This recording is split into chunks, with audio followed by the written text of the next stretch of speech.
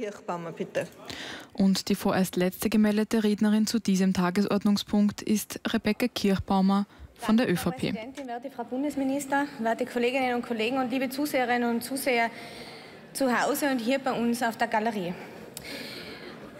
Die Schulen waren nicht geschlossen und es war auch eine tatsächliche Berichtigung von unserem Unterrichtssprecher äh, Herrn Taschner und ich glaube, das kann man auch so stehen lassen. Es wurden alle Kinder betreut, die eine Betreuung gebraucht haben.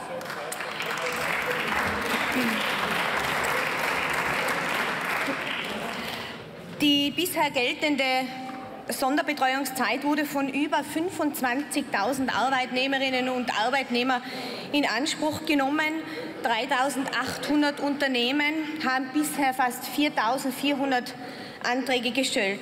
Ich möchte mich an dieser Stelle ganz herzlich bedanken bei den österreichischen Arbeitgeberinnen und Arbeitgebern, die dies in Anspruch genommen haben und auch gemeinsam mit ihren Mitarbeiterinnen und Mitarbeitern das geschafft haben, dieses Angebot anzunehmen. Es braucht keinen Rechtsanspruch darauf, weil wir sind in einer Gesellschaft, wo wir miteinander reden können und wo eine Gemeinschaft zur Lösung herbeigeführt werden kann. Also noch einmal, wir machen das gemeinsam und sprechen mit unseren Mitarbeiterinnen und Mitarbeitern. Und es hat in der Vergangenheit gezeigt, dass es so gut auch funktioniert.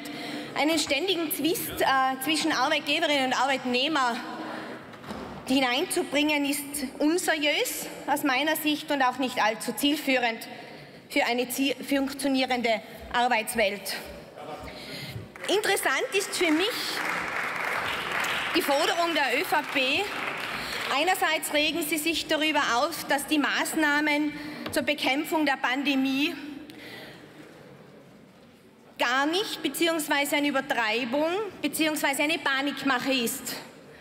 Meine Damen und Herren, das ist nicht so. Die Zahlen weltweit sagen und sprechen eine ganz andere Sprache.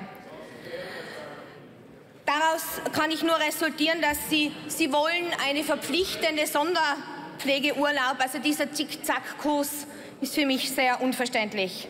Bei der SPÖ kann ich aus Ihrer Sicht, aus der Gewerkschaftssicht natürlich verstehen, dass Sie das haben wollen, aber zur Zeit der Pandemie ist das mit Sicherheit nicht die Zeit und absolut fehl am Platz. Unternehmerinnen und Unternehmen tragen die Verantwortung für ihre Mitarbeiterinnen und Mitarbeiter und schaffen Arbeitsplätze in Österreich und wollen diese auch weiterhin erhalten.